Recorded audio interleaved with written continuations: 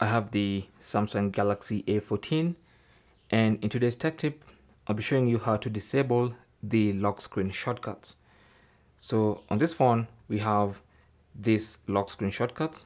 For my case I have the uh, phone shortcut and the camera shortcut. Okay, so you can see these lock screen shortcuts here, this one and this one. So if you don't want to have those shortcuts on your lock screen, then here's how to remove them. So go ahead and unlock your phone and then go to settings. That oh, takes you to the main settings page.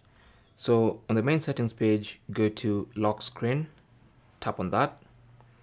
And then under lock screen, tap on this lock screen editor. So tap on that and allow it to uh, bring up the lock screen editor.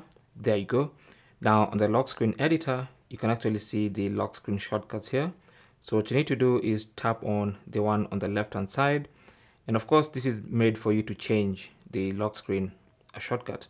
So what you need to do is choose no app and then there'll be no app there. And then you can go to the one on the right and also choose no app. Okay. And then tap on done in the top right corner